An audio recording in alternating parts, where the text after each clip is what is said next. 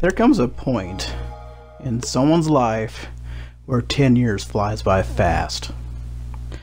Hi, this is Beyond Wisdom, aka known as Flawed Excuses, and I'm going over a small retrospective of Halo 3. Most people uh, are familiar with the Halo franchise today with uh, Halo 5 Guardians. Halo 5 Guardians is still an epic game, has great multiplayer, and is still played today.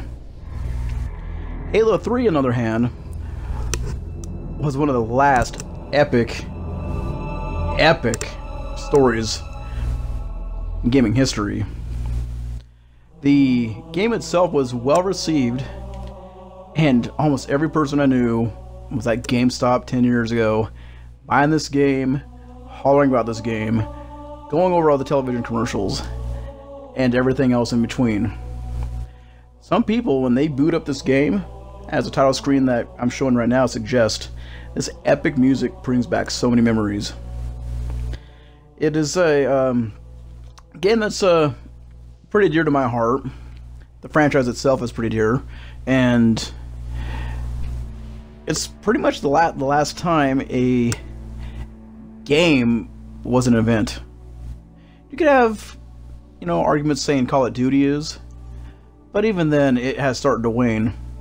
I would say probably since maybe Modern Warfare 3, Call of Duty started to wane as a um, epic powerhouse. But back to Halo 3. This game wowed me.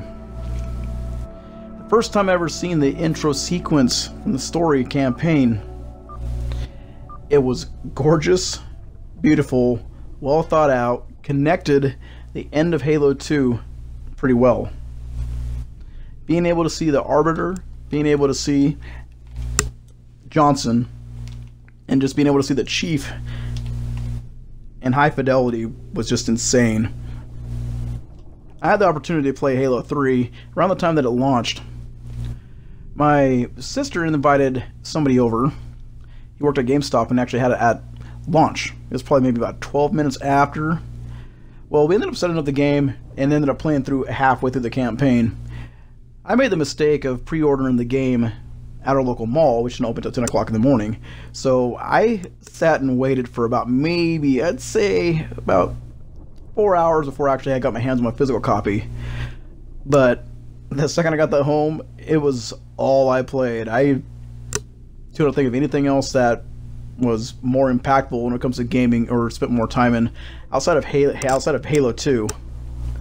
But as an impact game, this game leaves a legacy when it comes to a lot of uh, modern shooters, and it is one of the final last gasp for uh, AAA games to um, cater to cater to the fans, and the fans really embrace the content, and it's it's not often anymore, from my opinion, that the game will have as much impact as it does today.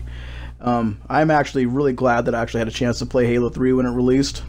I have all the uh, achievements for this game, and it was really, really fun to play. Um, going going back and uh, seeing in retrospect, it's pretty jarring knowing that 10 years has passed.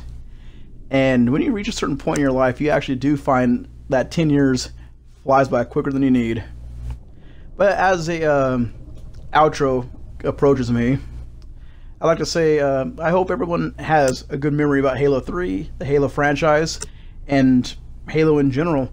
Just uh, if you want to stop by and check out my videos some more, just hit up all the videos that I have the content available. If not, just leave comments at the bottom, and I will catch you guys later. Thank you.